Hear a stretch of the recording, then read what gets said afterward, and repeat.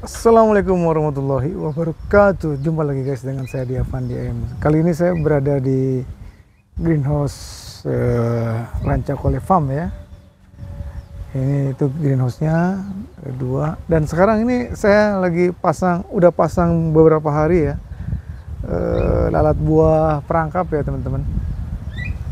Jadi ini botol ya bekas-bekas apa namanya bekas jus, bekas kopi ya kemudian saya lubangin ini teman-teman seperti ini. Ada tiga lubang ya. Kemudian saya masukin aja tuh petro petrogenolnya itu di sana ya. Dalam cemplungin semua. Nanti si lalat buahnya masuk ya. Dan dia kalau kena petrogenol itu dia akan mati tuh. Banyak tuh lihat mati banyak ya teman-teman. Segini lihat ada seratusan lebih nih. Nah orang banyak bilang katanya percuma bikin perangkap uh, lalat buah ya pakai petrogenol karena yang datang itu lalat jantan. Sedangkan yang menusuk buah itu adalah lalat betina. Tapi nggak masalah teman-teman. Yang penting kita maaf ya. yang penting kita memotong siklusnya. Siklus apa? Siklus perkawinan antar jantan dan betina. Kalau jantannya mati teman-teman. Misalkan daerah sini sekitar misalkan taruhlah 500 sampai 1 kilo ya sorry maaf. Satu kilo misalkan ke sini semua gitu misalkan jantannya. Kan kan jantannya pada ke sini semua terus siklus perkawinannya nggak ada berkurang jadi. Nah makanya kita pasang aja teman-teman. Pasang aja di dekat ini kita mau dari awal. Pokoknya setiap hari kalau misalkan udah habis nanti kita beli petrogenol itu harganya satu botol kecil itu 5000 sampai 7500 ya. Kita buka kita cemplungin lagi, kita buka kita cemplungin lagi gitu teman-teman.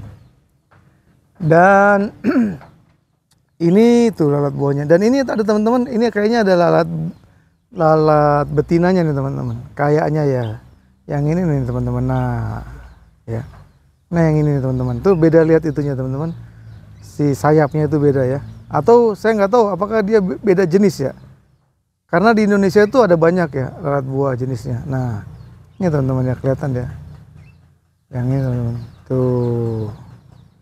Dia itu kayaknya saya sayapnya beda. Dan ini yang mendatangi eh, si lalat apa namanya si buah melon yang mendatangi yang ini nih teman-teman yang ada sayapnya seperti ini yang ada garis-garisnya.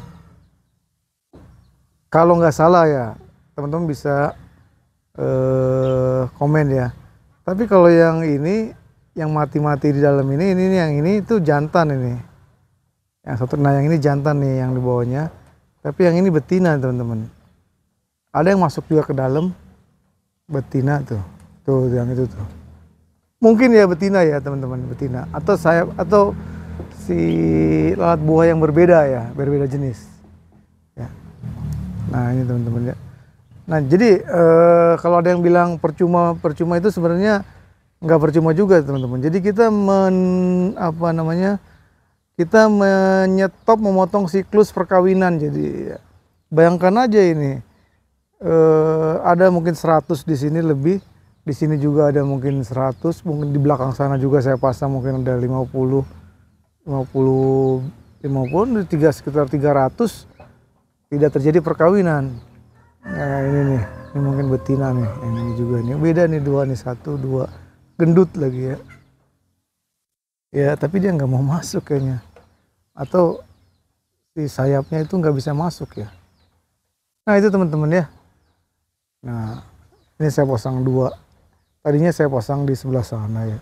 Tapi saya gabung aja lah ya. Saya gabung. Ini mungkin lebih baik dia agak digedein sedikit lubangnya. Teman -teman. Jadi ini sengaja botol seperti ini karena ini lubangnya besar. Atau carilah yang lubangnya besar sehingga petrogenolnya, botol-botolnya kita masukin. Tapi kita sumpal dulu ya.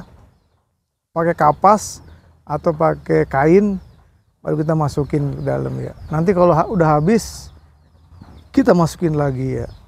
Gitu teman-teman. Jadi pasang terus aja nggak masalah tapi jangan deket-deket sana apalagi taruh di dalam greenhouse oh jangan nanti ada yang datang ke dalam gitu. Di luar di luar. Ya ini 50 lah jaraknya. 50 meter. Ya teman-teman. Itu aja sih. Ya.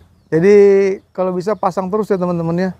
Jangan kendor supaya nanti di area kita ini siklus perkawinan dari lalat buah itu bisa kita potong ya. Itu sih. Secara logikanya begitu. Oke itu aja teman-teman semoga bermanfaat. Sekali lagi ini botol ya tempat bekas botol satu liter yang lubangnya besar supaya mudah dimasukin petrogenolnya botolnya. Kalau botol aqua gimana? Kalau botol aqua nggak bisa masuk sih ininya teman-teman. Botol air mineral tuh yang satu yang 600 mili nggak bisa masuk ya kan? Tutupnya kecil ya.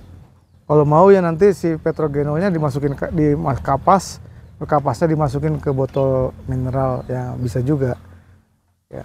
Cuma cepat habis ya. Kalau ini kan enggak kayak seperti sumbu teman-teman. Seperti sumbu pakai kain jadi sumpel pakai kain. Oke itu aja. Wabillahi taufiq wassalamualaikum warahmatullahi wabarakatuh